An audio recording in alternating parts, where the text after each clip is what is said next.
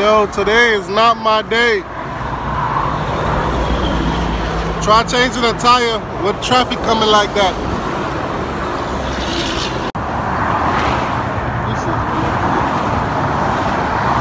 This is, has got to be one of the most dangerous jobs ever.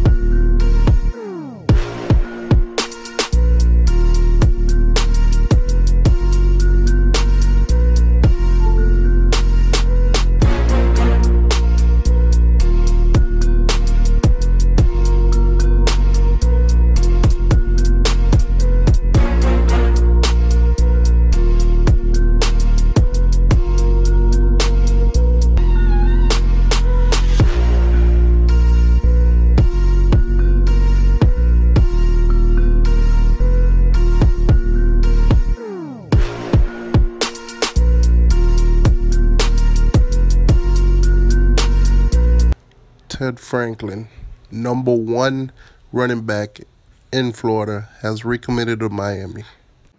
That wasn't this week. That was last fucking week. SP Plus Formula has ranked Miami number 23 going into the 2020 season.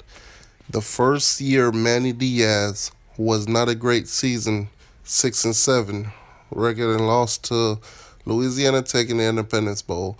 But Miami do add an interesting piece in Houston quarterback transfer, D'Eriq King.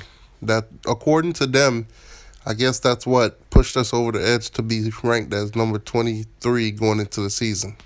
Now, according to them, the only two ACC teams that is ranked above Miami is Clemson at number three to only number one being Alabama, and number two being Ohio State.